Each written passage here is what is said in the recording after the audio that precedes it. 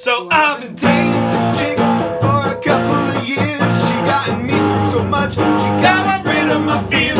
But there's just one thing that still worries me. I think I got a nasty d- d- disease. think I've got a, Think I've got a think I've got a. STD disease. At least one of them. I don't know which one though. Should probably get that checked out.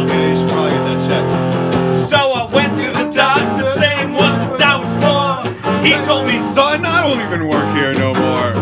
how can you help me? Just really quick and get this Burning sensation all over my dick. He pulled down my pants and he said, Holy shit! Don't be too frightened, but you've gotten hit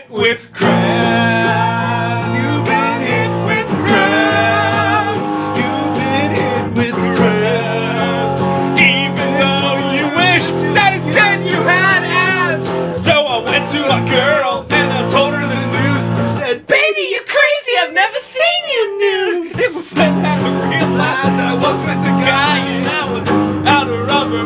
Why oh why? So I went to his house and I said, Look, man. He held me down. He said, I I've got a a plan. plan. So he pulled down my pants and his smile grew wide. He started jerking my jimmy. Well,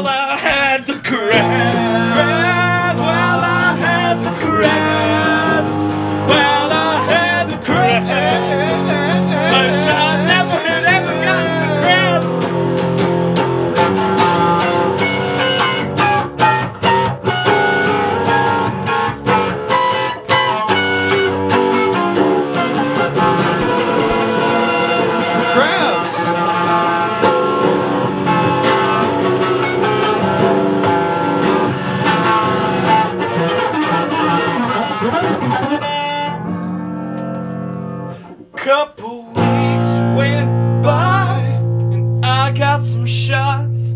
My girl broke up, which sucked cause she was hot. hot.